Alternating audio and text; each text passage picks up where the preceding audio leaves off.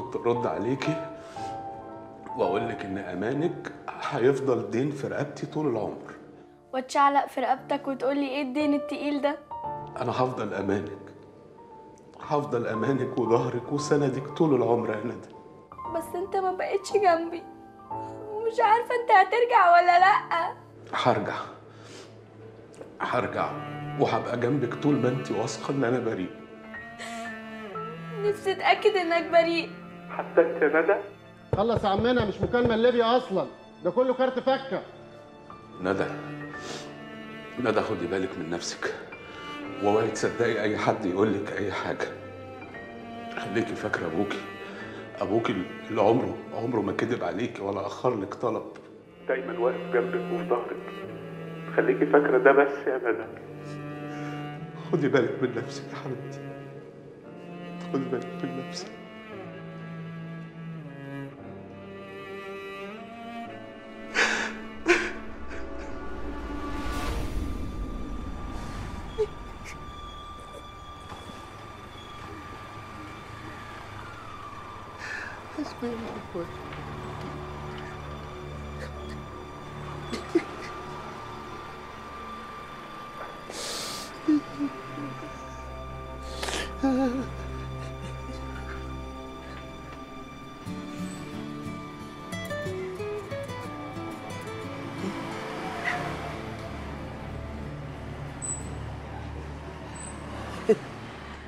عفارم عليك يا عم رأفت كلمتين النيابة النهاردة مش بس هيجيبوا حق بنتك. دول كمان هيصونوا شرفها وسيرتها. مش انت برضو يهمك سيرة وسمعة بنتك بعد ما ماتت يا عم إيه؟ سكوتك ده معناه انك حسبتها صح ما انت برضو ما يخلصكش ان الحاجة هي كمان تحصل بنتك. مش كده ولا إيه؟ ساكت ليه ما تنطق؟ آه أيوه صح يا باشا. صح. أنا صنت سمعة بنتي. ونجيت رقبتي ورقبه مراتي الغلبانة. من ناس أتقل مننا بكتير. بكتير يا باشا. أيوه صح. سيادتك صح يا باشا. اسم الله عليك. حسبي الله ونعم الوكيل. حسبي الله ونعم الوكيل. حسبي الله ونعم الوكيل. حط إيدك تحت الكرسي اللي أنت قاعد عليه يا لطفي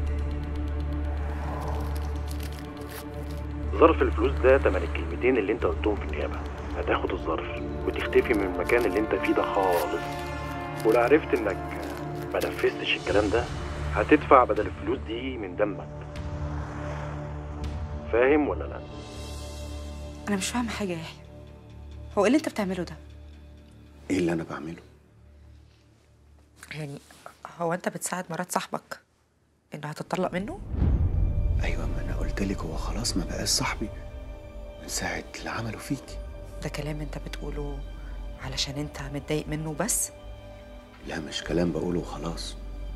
بني آدم اللي اسمه خالد ده النهارده طلع إن أنا ما أعرفوش فعلا.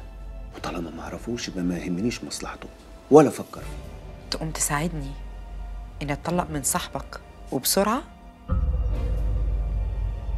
عشان ده حقك اولا.